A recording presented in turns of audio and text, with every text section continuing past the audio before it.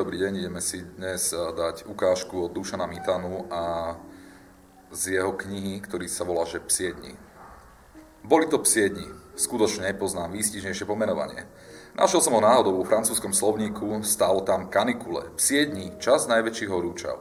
Na kúpalisko sa mi nechcelo ísť. Rozhodol som sa, že vyhľadám nejaké osamelé miesto pri rieke.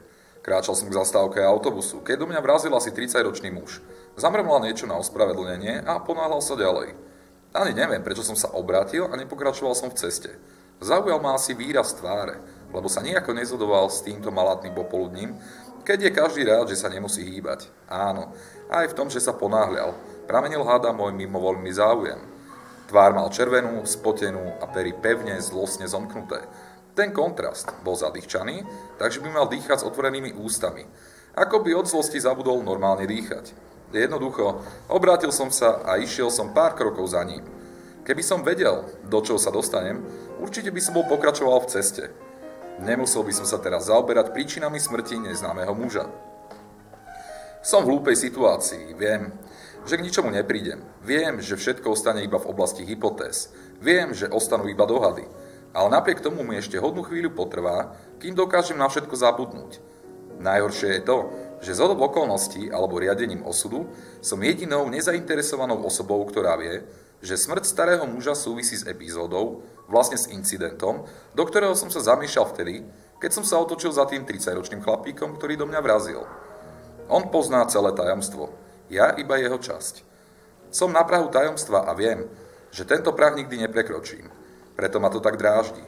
Viem, že tajomstvo ostane nevyjasnené, lebo jeden muž je mŕtvy, a druhý sa vo vlastnom záujme vystria objasniť ho. Napokon som presvedčený, že zmizol a nikdy viac sa s ním nestretnem. Nie, to je ako uh-huh, prvá uh-huh, Dobre. Muž, ktorý do mňa vrazil a za ktorým som sa otočil, dobehol osamelého staršieho pána, ktorý mi pripomínal môjho profesora dejepisu. Starý pán vyzeral prekvapene a ako som postrehol, poriadne vystrašene. Bolo však jasné, že sa poznajú. Starý pán mu ponúkol pravicu, ale ten druhý si to nevšimol. Takže som polutoval starého pána, ktorý sa to snažil nešikovne zamaskovať poškriebaním na hlave. Bol som od asi na 15 metrov a v celej ulici nebolo ani nohy. Mladší muž bol rozhorčený a starý pán sa ho snažil upokojovať. Zdalo sa mi, že mladší niečo pýta od starého pána, ale tento buď nemá, alebo mu to nechce dať pretože ústavične krčil plecami a krútil hlavou. Bolo to viac ospravedlňovanie ako odmietanie. Vtedy mu úplne neočakávane mladší muž vylepil za ucho. Starý pán sa i nepokúsil o odpor. Nie o odpor, ani o obranu. Vôbec nezdvihol ruku, aby si aspoň pohľadil tvár. Vyzeralo to, že facku očakával a dostali úplne zaslúžene. Keď mu mladší strelil druhé za ucho, rozbehol som sa k ním. Nepamätám si už presne, čo som hovoril, Viem iba, že som sa postavil medzi nich a najviac ma prekvapilo, že z môjho zásahu bol oveľa viac vystrašený starý pán ako jeho protivník. Prosil ma, aby som do toho nezasahoval, že je to ich vec. Prosil ma, aby som ich nechal samých. Mladší muž stál počas celej mojej intervencie opodial s rukami vo vreckách a sebaisto, pohrdavo sa usmieval. Nevedel som, či nado mnou, alebo nad očividným strachom starého pána. Priznám sa, že to trocha urazilo moju samolúbosť. Cítil som sa istým spôsobom zosmiešnený a tak som bez slova odišiel, nazlostený na starého detka, ktorý pohrdol mojou pomocou. Onedlho, v autobuse, ktorý ma viezol za mesto k vode, som už vyčítal svoju samolúbosť, ale napriek tomu som sa nemohol úplne zbaviť zlosti. Našiel som osamotené miesto, kde bola rieka ešte nezregulovaná z vody trčali ostré skaly, na brehu sa povaľovali prázdne plechové súdy od oleja. Vyzliekol som sa a vliezol do vody. Nemohol som sa vrhnúť do chladivých vln, lebo by som si určite rozlohol brucho na skrytej číhajúcej skale. Opatrne som vyhmatával chodidlami cestu, ktorá ma dovedie do bezpečnej hlbiny. Skaly boli zradne slízke. Keby som sa pošmykol, no aby sa dostala do úzkej medzery a zlomila by sa s prasknutím utlmeným vodou, nad hladinou by nič netušili. Zistili by to, náš keby sa noha vynorila. Krvavé meso prebodnuté niekoľkými íverčikmi kostí. Doplával som do stredu rieky a pocítil som mocný, neodolateľný prúd, ktorým som sa nechal unášať. Najradšej by som sa bol nechal niesť, stále a stále. Najradšej by som splínul s týmto živlom. Najradšej by som sa bol oddal rieke a vyústil do mora. Dostal som však na cigaretu. Začal som plávať k ľavému brehu, mocnými rozbachmi som pretínal hladinu, namáhavo som čelil prudkému toku, ktorý ma nechcel pustiť zo svojich pazúrov. Zadýchčaný som vystúpil na breh. Ruky, nohy, celé telo sa mi chvelo od námahy. Rozbol som sa po nábreží, horúci chodník hrial mokré chodidla, čo skoro ich osušil. Aj telo o chvíľu uschlo v ťažkom, hustom, páliacom vzduchu. Únava ma prešla, vychutnával som si radosť z brehu, zo sviežého vánku, ktorý vyčarovalo z páliacej clony moje pohybujúce sa telo. Urobil som si lôžko z ploských skál, vyzriekol som sa do naha a ľahol si na rozpálené kamene. Popálil som si kožu, vyskočil som, nabral do dlani vodu a pokrstil som ňou tie nemé tváre, ktoré pri stretnutí s vodou ožili a podrážene zasyčali. Opäť som si ľahol a s nevyslovným pôžitkom som vyfajčil jednu za druhou tri cigarety. Fajčil som so zatvorenými očami. Studená voda mi umývala chodidlá a cítil som stiahnutú kožu na celom tele a najviac na tvári. Ako by sa scvrkla, vysušila, tiesnila rozpínajúce sa svalstvo.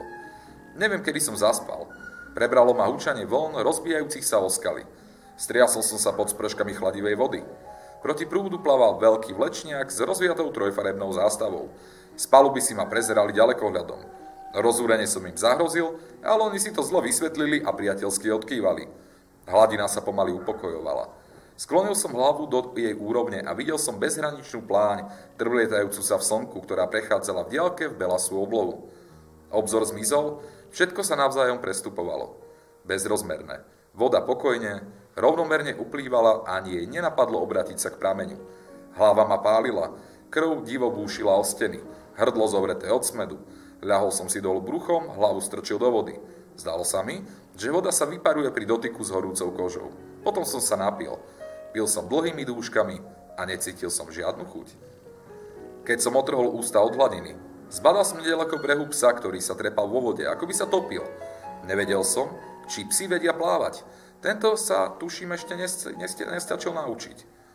Chcel som skočiť za ním a vyťahnuť ho. Potom som však zbadal dlhú halus. Podal som mu ju, bez múdro do nej zaťal zuby a dal sa vyťahnuť na breh. Bol malý a typoval som, že aj mladý, takmer štenia. Mokrá srdť zlepená, naježená, triasol sa na celom tele. Nevedel som, či od strachu alebo od zimy. Bol to zrejme jeden psov odsudených milosrdnými majiteľmi, ktorí nemajú svedomie zálušiť svojho nemenného priateľa, iba ho odvlečú ďaleko od búdy v nádeji, že nenájde cestu späť. Položil som ho na horúce kamene, nech sa osuší a zohreje. Napadlo mi, že pes nepatrí zrejme nikomu, teda si ho môžem nechať. Veď som mu zachránil život. Chytil som sa tejto myšlienky, usmieval som sa na psa, hladkal som ho, prihováral som mu neznámou rečou. Bol som veľmi rád, že konečne budem mať aj ja psa, tak ako všetci susedia. Spriatelím sa s ním, vycvičím ho podľa nejakej príručky pre cvičiteľov psov, neurobíme bez seba ani krok. Nebudem ho ponižovať strážnymi úlohami, spávať bude na mojej posteli, tak som sa rozradostil, že som si opäť lahol na chrbát a položil si psa na prsia. Dôverčivo sa schúlil do kopka a vyhrieval sa na pražiacom slnku. Keď sa osušil, hneď ožil. Zlakol som sa, aby mi pes neodrizol moje malé zvieratko, svrknuté, odpočívajúce, schublené v čiernom úšti medzi nohami. Ale pes sa pustil na opačnú stranu. Začal sa vrtieť, liezol mi po prsiach a usadil sa na pleci. Cítil som na krku jeho ňufák, jeho dých, jeho vlhký drapľavý jazyk. Zrazu som sa nalakal, že sa mi môže záriznúť do krčnej tepny. Až mi celé telo zmeravelo od strachu. Po chrbte prebehlo strnulé mrazenie. Chcel som ho chytiť a dať dolu z pleca, ale pri prudkom pohybe som ho pichol do oka. Zavrčal od bolesti a v zmetku mi zahryzol do prsta. Mozog sa mi zastrel zlosťou. Tak ty takto, za to, že som ťa zachránil, ozval sa vo mne ľudský put. Vyžadoval som vďačnosť. A keď sa mi jej nedostalo, zavrčal som na psa. Vyceril som zuby a zahryzol sa mu do krku. Pes sa bránil a pohrízol ma na lice. Vrátil som mu to. Chvíľu sme sa hrízli a medzi zubami som cítil srst a takisto aj chrupavku ucha. Potom som zdrapil psa a šmaril som ho do vody. Keď som vyšiel spoza kríkov, ktoré ma kryli pred prípadnými zvedavými pohľadmi, zbadal som nejakého muža, bol ku mňa otočený chrbtom. Práve prehodil akúsi bielu šnúru na hrubý konár jedného stromu. Konce šnúry sa voľne hompálali a ako na ne dopadali slnečné lúče, predierajúce sa pomedzi lístie nepravidelných intervaloch, sa biel, bieloskvúco leskli. Bolo mi jasné, že šnúra je úplne nová. Muž bol starý a akýsi vedchý. Už vtedy, keď som ho videl od chrbta, sa mi zdal povedomý.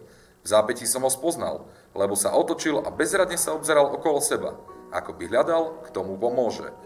Kým som sa stačil skryť, už na mňa mával. S nevoľou som vyskočil spoza kríkov, ktorý sa na okamih zarazil, lebo ma spoznal.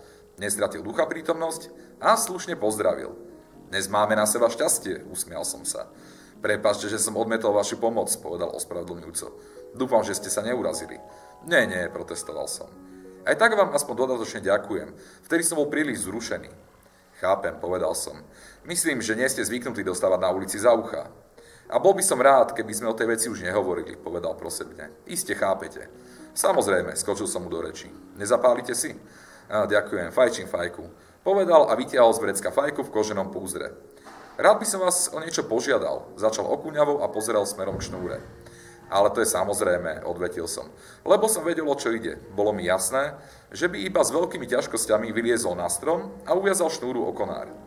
Ďakujem, povedal, keď videl, že sa ochotne šplhám na strom. Uviazať šnúru a urobiť slučku mi nerobilo žiadne ťažkosti. Šnúra sa mi síce zdala trochu pritenká, ale nechcel som sa do toho miešať. Mal som so starým pánom už svoje skúsenosti. Ste veľmi láskaví, povedal, keď dofajčil. To nič, len neviem, na čo si stupnete, povedal som. Totiž, ja by som vás podvihol k slučke, ale mohli by to kvalifikovať ako vraždu obesením a to by som nerád. Ó, bože chráň, nechcem vám robiť nepríjemnosti. Poobzeral sa okolo seba, zbadal súdy od oleja, ktoré ležali na brehu rieky. Áno, sú prázdne, to by šlo, povedal som. Spolu sme doniesli jeden súd a postavili sme ho pod slučku. Na bielej košeli starého pána ostala olejová škvrna. Úplne ho to vykolajilo. Asi mal prísnu ženu. Snažil som sa upokojiť, nechcel som, aby odchádzal na druhý svet v duševnej nepohode. Ako tak sa mi to podarilo. Potom mi podal ruku a povedal, že je rád, že sa so mnou zoznámil. Skutočne som veľmi rád, že som spoznal takého milého a ochotného človeka, povedal. Odvetil som mu naučenou frázou potešenie na mojej strane. Požiadal ma, aby som sa vzdialil. Viete, chcem vás ušetriť pohľadu, ktorý možno nebude príliš estetický.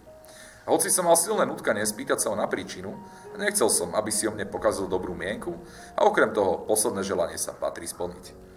Odišiel som k vode a dôkladne som si poumýval zaolejované ruky. Keď som sa vrátil s určitým prekvapením, som skonštatoval, že šnúra vydržala. Bolo stuhnutý, Vyzeral dobre, iba ten olejový flak na košeli pôsobil ako pes na oko. Rýchlo som sa vzdialil. Nechcel som, aby niekto zistil, že som bol svetkom. Objasniť by som nemohol nič. A na moje hypotézy by nebol nikto zvedavý. Hlavu som mal ako v ohni. Treštený od bolesti, krv divo búšila o steny lepky. Toto bolo krátke čítanie Dušan Mitana a psiedni.